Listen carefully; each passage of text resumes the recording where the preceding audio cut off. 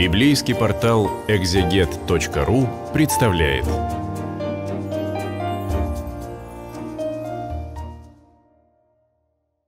Здравствуйте. Это видео для библейского портала экзегет.ру, и мы поговорим сейчас о шестой главе послания к евреям. Автор этого послания закончил предыдущий абзац, закончил пятую главу э, словами э, отчасти упрека к читателю, что, э, друзья, ну вот вам нужна, нужно молоко, а не твердая пища, потому что вы не способны слушать и э, обленились, попросту говоря. Вот. А твердая пища для ученика – это то, что свойственно совершенным, у которых чувства навыкам приучены к развлечению добра и зла. Гениальная, между прочим, формулировка. Да? А, он называет совершенными тех, кто опытом, навыком привыкли различать добро и зло. Критерий этого назван э, на главу до того. Э, это Слово Божье – проникающие до разделения составов и мозгов. Ну и вот э, шестая глава начинается с того, что автор э, останавливает сам себя и говорит, оставим, оставим простые вещи, оставим начатки учения Христова и обратимся Э, к его полноте или к его совершенству. Не станем снова полагать основания обращению от мертвых дел и вере в Бога. И учению о том, о том, о том он перечисляет какие-то вещи.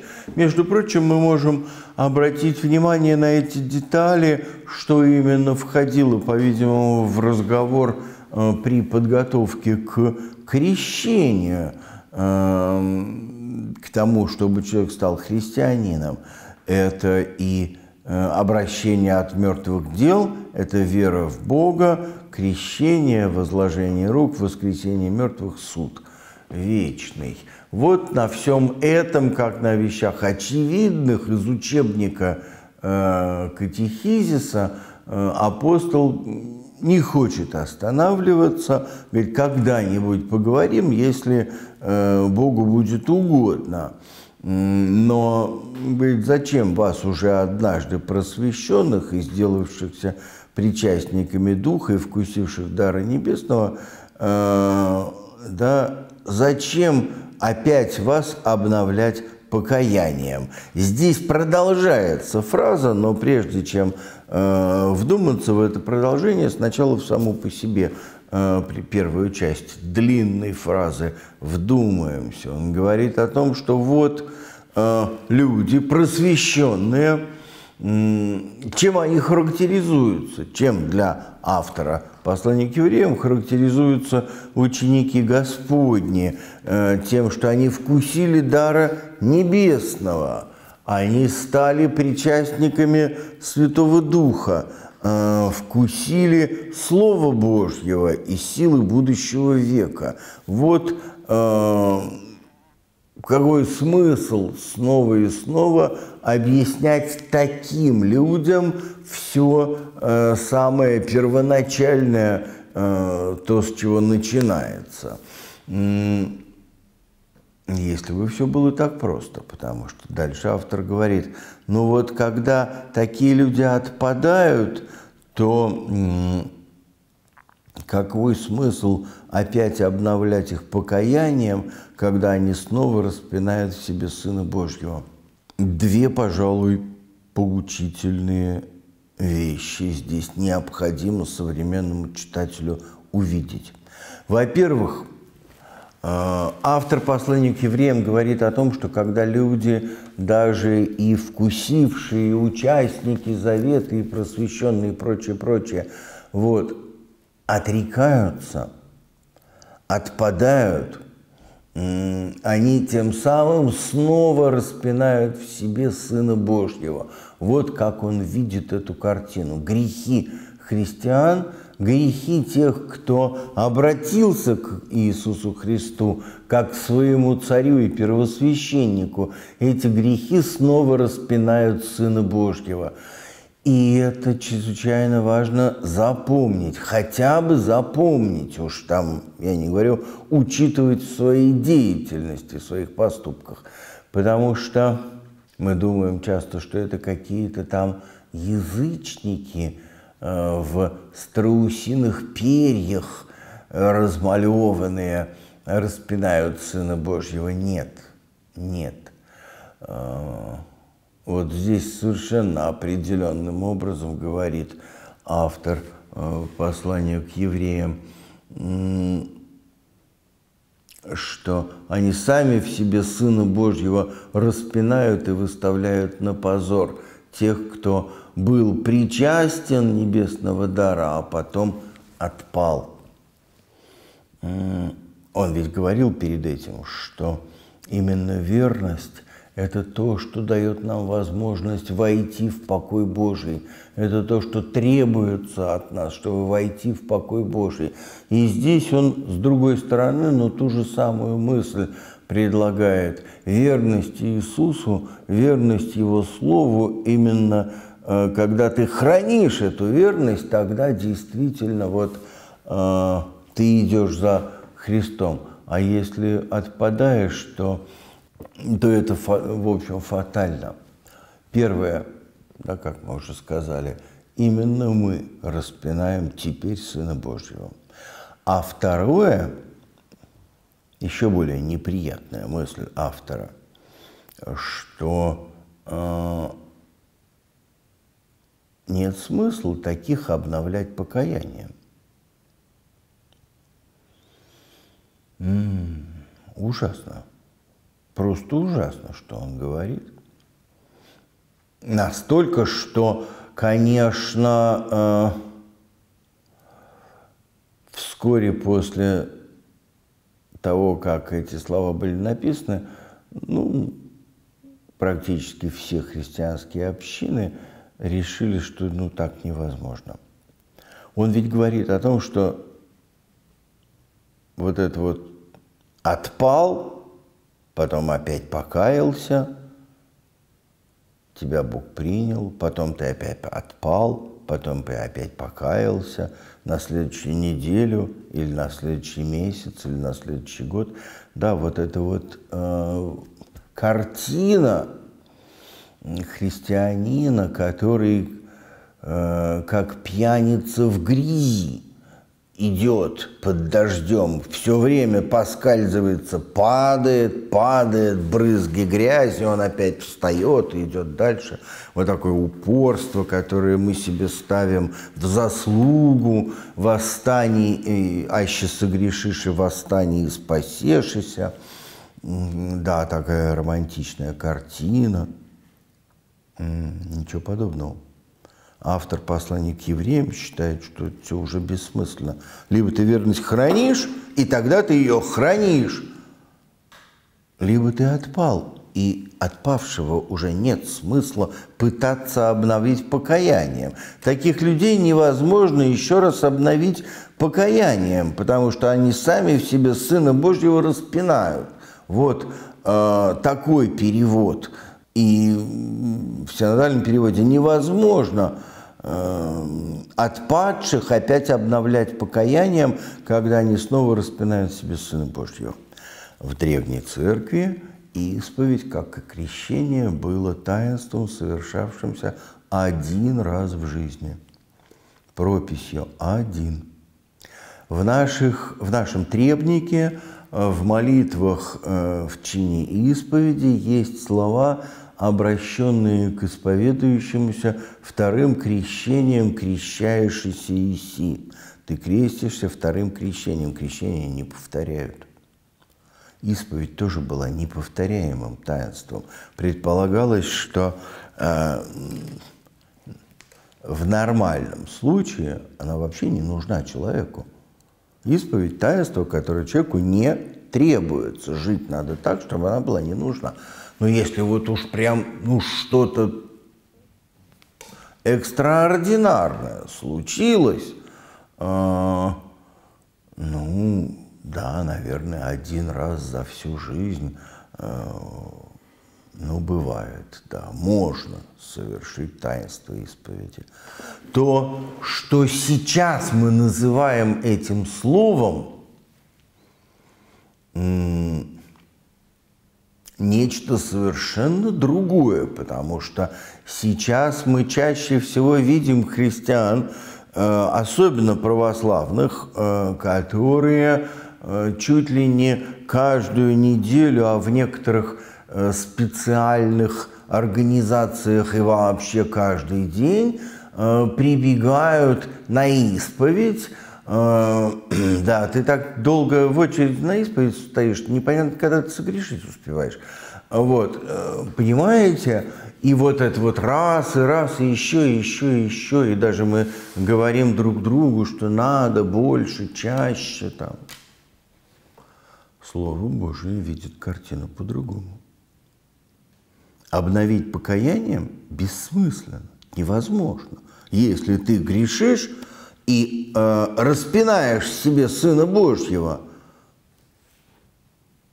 то не может быть повторяющегося покаяния. Однократно это под большим вопросом, то есть автор послания к евреям говорит, что и оно невозможно, а церковная практика говорит, что оно возможно один раз в жизни. Не то чтобы нам надо было что-то менять в нашей практике, или во всяком случае не мне об этом судить, без сомнения ну, нам надо задумываться над этим, понимать, что, почему мы делаем. И, а правильно ли, что мы называем то, что мы сегодня называем таинством исповеди, что мы его называем таинством исповеди? Или это вообще никакого отношения не имеет? Понимаете? Все-таки, грубо говоря, первоисточник предполагает, что мы живем в верности Христу и не совершаем тех вещей, Э, как убийство, прелюбдение, отречение от веры, которые потребуют от нас исповеди. Э, вот. А если ты отрекаешься, то невозможно снова обновить покаянием. Да? По крайней мере, на собственную жизнь с этой точки зрения, на собственные отношения с Богом, посмотреть по меньшей мере не вредно, а то и необходимо. И дальше э, еще один образ, своего рода притчу приводит автор про то же самое.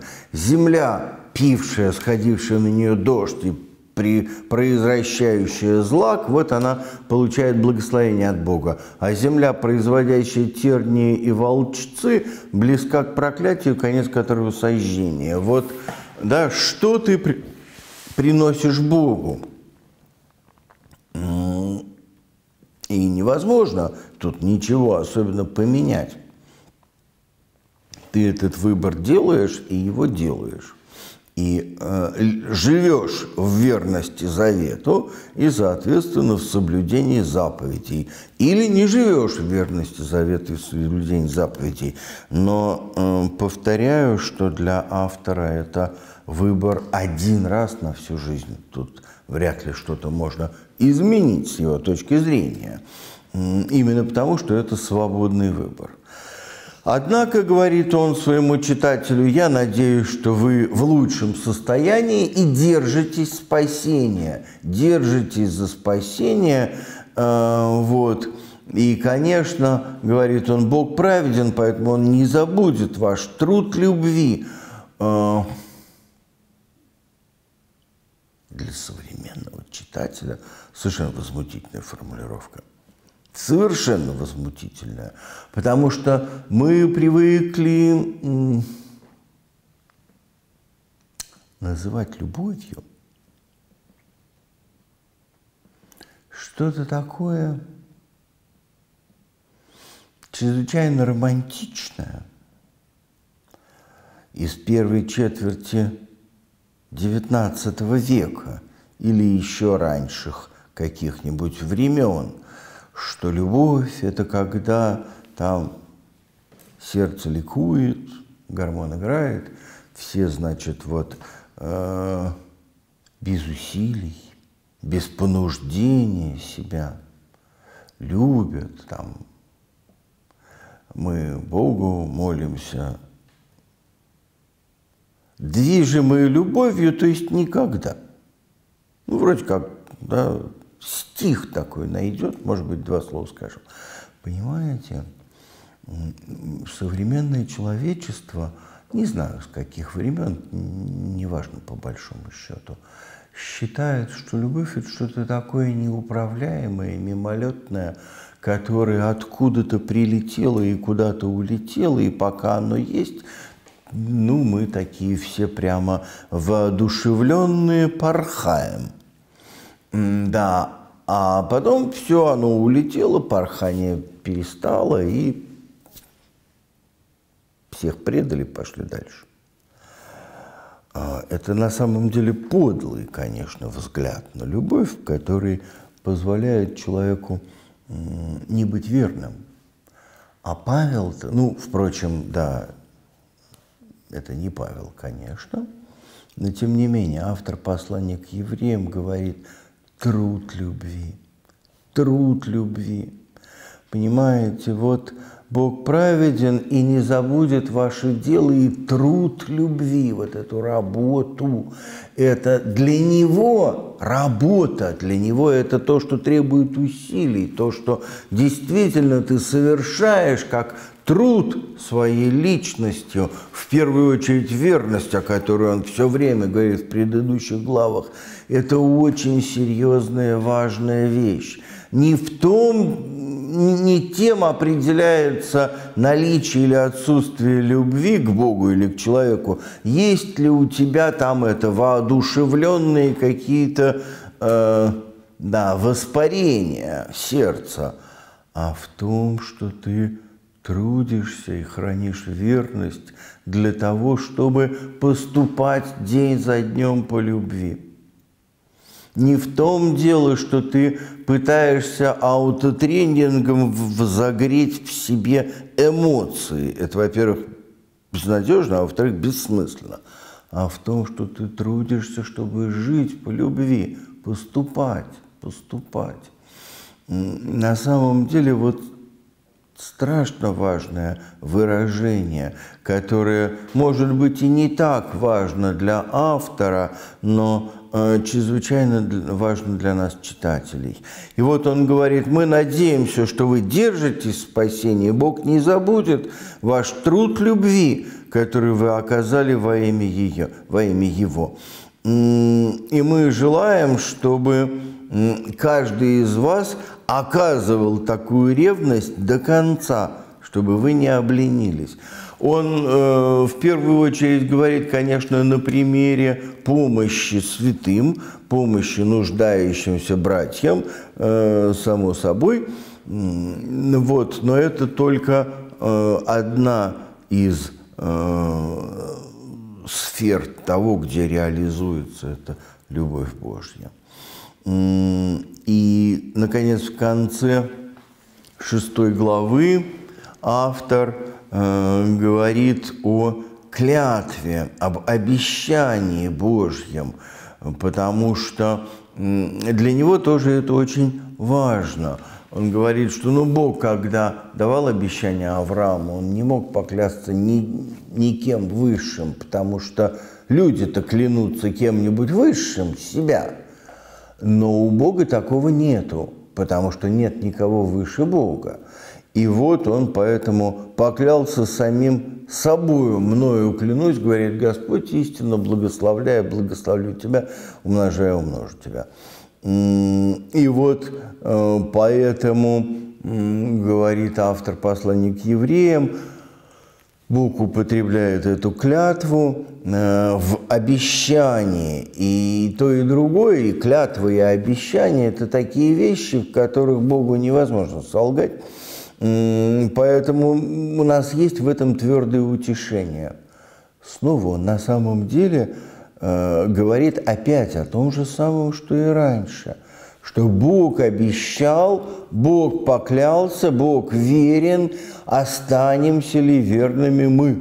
Останемся ли верными мы или будем распинать Сына Божьего э, снова в себе? Бог не забудет труд любви.